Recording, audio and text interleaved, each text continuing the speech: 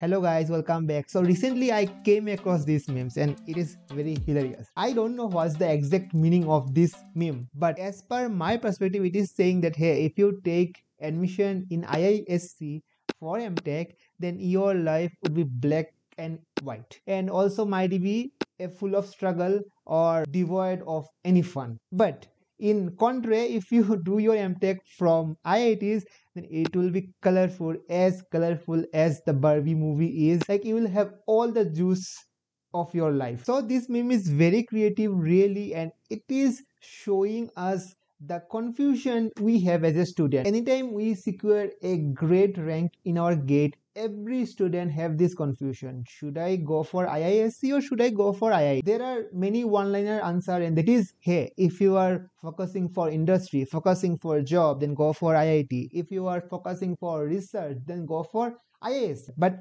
in today's video i am attempting to give you some fact based answer to end this mystery once and all. So in this video we will measure both iit and iisc again IIT, not all the IIT, right? To compare anything with IISc, IISc brand. So I'll compare most six to seven top IITs with IISc in the following segment, like what is the student life culture there, uh, your placement opportunity, your research, your alumni connections and startup culture. So if you're excited to get insight for this topic please like this video. And if you are new in my channel then myself Rajdeep I work as a VLSI engineer with Intel and I keep on making video on such interesting topic all across the VLSI industry. So to get all the updates please subscribe to my channel. And let's get started. And also full disclosure probably I'll be little biased toward IIT so if anybody of you are pursuing your studies from IISc, then you are most welcome to comment down and let people know why they should join IISc than a top IIT. So the first point is popularity. Who is most popular? For sure, hands down to IITs. IITs are clearly winner in this segment anywhere you go in India or in abroad, if you say you are from IIT, in abroad actually they don't know about top like new IIT, top IIT, nothing. If you say hey you are from IIT, your respect in their eye will increase they know how hard you have studied how hard working you are because you are working for from IIT. In also in India also for many recruiter because in recruiter we have few technical guy who are hardcore. They know about IISc how quality things IISc peoples are. But there are all respect to HR people. But because HR people are not from technical background, so mostly they don't have much knowledge about IIS. So most of the time they just underestimate you from a guy from top IIT or from any IITs. And in general society also because of many other factors, IIT have the glamour. So in your close relatives, in your family, in your society, if you want to get the respect, इज्जत चाहिए मेरे को then probably IIT is the best option. But I don't think we are too much full to choose between these two options only because we need the respect or ijjat. There are some other category also. Going to the other category and that is how would be your life after you start your journey in those institutes. So the first option like where we enjoy most of our time during a student and those are your first time. Here also again IIT are getting the points because most of the biggest cultural festival in colleges are hosted by IITs like Mood Mood Indigo in IIT Bombay. That is a benchmark for any any college fest. Then we have Rendezvous in our IIT Delhi and there are many. But having said that it's not like in IISc our lives are black and white as the memes say in IISc also we have good cultural event and those are like Pravega Sangam etc. If you are from IISc, please comment down if I'm missing something. Students tend to enjoy a lot during those days. And if I get any opportunity, for sure, I'll visit IISc Bangalore during those fest time to really explore more like how they are feeling there actually how the environment are there but from my own experience in iits in especially in iit delhi when uh, our fest was there the environment was crazy you can't tell that how much uh, wonderful those three days those three nights are. So for sure if you want to enjoy your life during your those two year of pg or five year of phd then iits are best. And why it is like that? Because in iits we have the btech student we have the undergrad student and undergrad student have lot of time. They have four year to finish their course.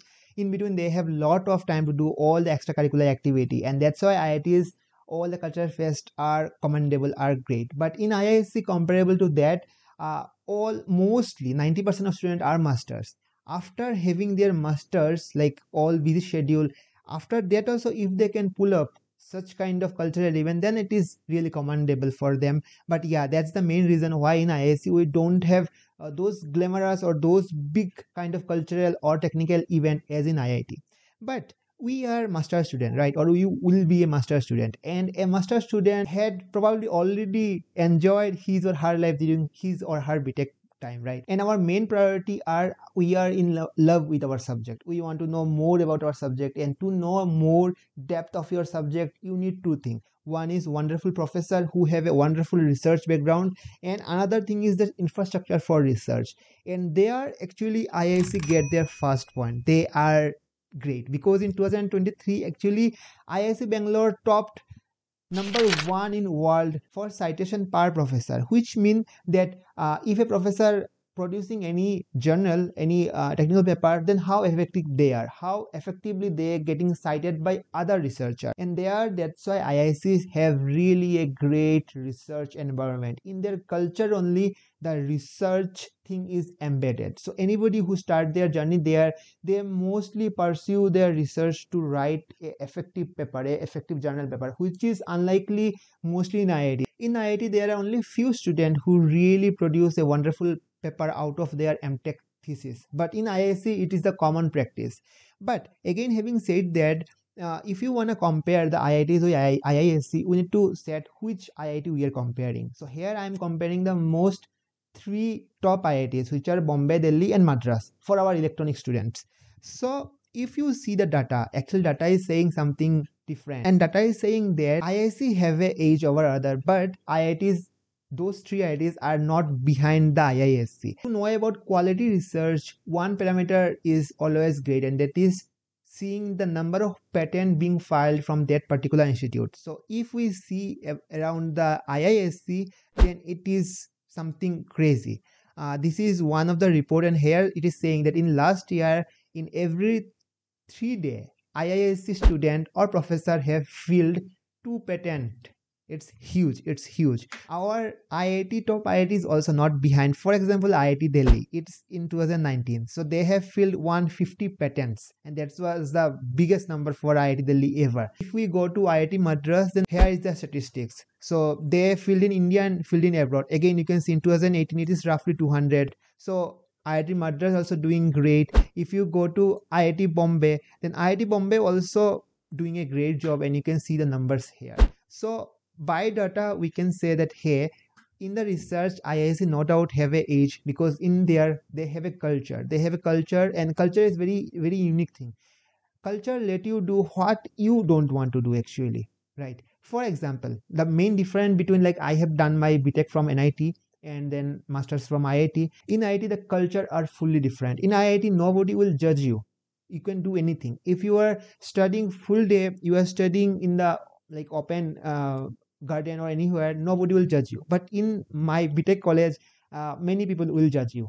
So mostly you won't do it. So that's why culture is very important. And for sure if you are serious candidate to do research only you want to pursue your mtech then ms probably from outside or phd from india then iisc is like no brainer you, you just forget everything all other pro or cons of iits top iits go for iisc for sure. If you are interested for job you are doing your masters for job only. Yes you love your subject but again the main intention behind your going for higher study is job. Then again here we can say that hey iit like top iit are winner. But in the job i think both the institutes like top 7 iits and iisc have the similar kind of statistics for example if you see here in iisc uh, this is for the 2022 i don't have the extensive data here. You can search online. But roughly their median salary is 28 l. Now if we go to some one of the iits for example iit bombay then we can see their median salary is also nearly same. See their salary is also nearly same. And if we go for uh, what's the mtech because in bombay there are majority are btech like we need to see separately mtech data also so in mtech data you can see here this is the mtech data So in IIT, 670 students have registered, but only 523 got placed. That, that means if you choose IIT, it never mean that you are done for your job. You will for sure get a job. You need to do hard work there also and in IISc also same same the case MNC knows that IISc produce or IISc students are best in the country. So that's why in job perspective I think both should get the same point. Now there is a part and that is uh, anytime you do your masters or PhD you have one task and that is your TAship teacher assistantship duty. So there professor will assign you some duty. You might need to take the labs for your juniors BTech student mostly or you need to conduct the examinations so there actually IISc get the number because in IISc, as I said, undergraduate are minority. Mostly, I think less than 10% students are IIS, uh, BTech in II, uh, BTech or undergraduate, not BTech, BSc, I think, uh, undergraduate. So all the masters and those people, they have really less TAship. In TAship might be there, if you are in your second year of MTech, might be you are taking one or two labs in your first year of MTech. If you are in PhD, then you are might be taking some left for MTech. But because IISc don't have undergrad, so TAship is very very less than IIT. But in IIT there are again there are twists, and that is there are few centers. For example, IIT Delhi, from where I did my MTech, and that is a center for excellence in uh, applied research in electronics care. So there it was a separate department, and that department don't have any BTech so that's why we that means in our first year of mtech we had no TAship nothing. There are only few here and there like professors uh, assign us work. And in second year we need to take one or two left for the first year of mtech guys. But for majority of the cases for example i had my roommate who was doing masters from uh, mechanical. So he used to go to labs for taking labs for the undergraduate because mechanical department has the UG students. So it might be a con for you because you need to spend 8 hours or something more than that for TAship in IITs. But the good thing is that in future if you want to pursue the professorship then this TA experience will really help you. Next, what is the diversity?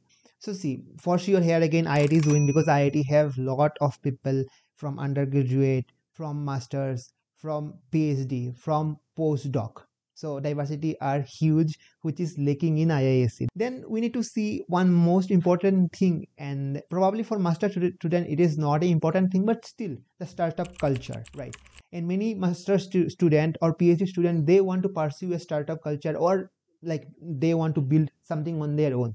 If you are like that then iit are no brainer choose for sure iit because in top 3 top 5 iits the startup ecosystem, the startup reach is unbelievable. In IISc also there are startup culture, but it is no comparable to IITs. So in general, I can say that IITs mostly produce engineers and entrepreneur, but IISc produce scientists. There are exceptions, but in general. Now the next segment and that is what is the alumni network or oh, if you just search for all the notable alumni of IIT and IISc then who are there? And here again I think I think like I have the perspective and that is IIT is getting the point. Because if you just see for VLSI uh, who is the inventor of Verilog? He is the Prabhu Goel and he is from IIT Kanpur. Who is the uh, CEO of Google? He is from IIT Kharagpur. Who is the uh, founder of uh, like Grofers or now it's name change I don't know like from IIT Delhi only, Flipkart IIT Delhi only. So they Chief Minister of Delhi, IIT Delhi, yeah, IIT Delhi only, Chetan Bhagat, IIT Delhi only.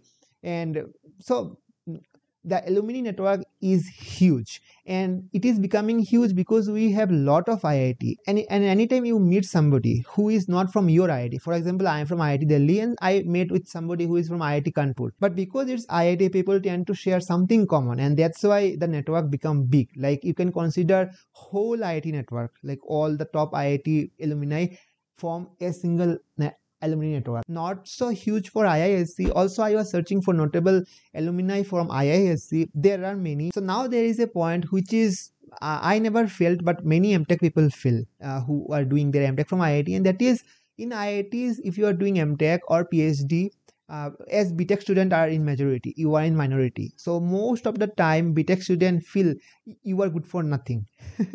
they they they are the top people because they have cracked the most difficult exams JEE uh, advanced. But for they don't know that gate is also a toughest one. Uh, you need to learn all the four year of engineerings and then write down there. But still many many mtech people have the same experience. I don't have mostly i don't think so in our college we have. But but whenever i see the quora questions or there many mtech people has said that hey they feel like they are second class citizen in the iits but in iisc you are the majority you are the first class citizen. I i don't think this is a point to choose between this or that but still it is a factor. And also in iisc you have always the motivation to keep on studying. In iits also you have always the motivation to keep on studying but there you also have the motivation to keep on doing anything. If you want to dance for 24 hour you have some people who are really dancing like properly dancing for 24 hour. If you want to do debating club there are few people. Like there are like as i said diversity is there. Because of ug student and because of the huge number of them there are a lot of club. You can join any club. You can keep on doing anything you like for 24 by 7 so that means when you join iits probably you wanted to be a master of vlsi design. But after going there you might discover some other in interest inside you and you might become master of something else. So all the opportunities all the gates are open in iits and in iits that's why people say you get a great exposure to everything. But in IISc there are mostly no chance. If you go on for master of VLSI you will come out as master of VLSI only 99% of the time. Because as i said culture is there. You need to keep on studying because everybody is studying. There are not much fun. There are little fun but again fun is less than iits so what's the conclusion? Who is the winner? Actually i lost the track of the thing and that is not necessary also because both are the winner. All depend on your perspective right? For me my perspective was that i wanted to be called as iitian i don't know why it's a childish uh, desire but i had that desire. And that's why for me uh, if you are like as a big brother if i want to recommend you uh, then if you are getting a chance to do your masters from top 3 iits then go for that.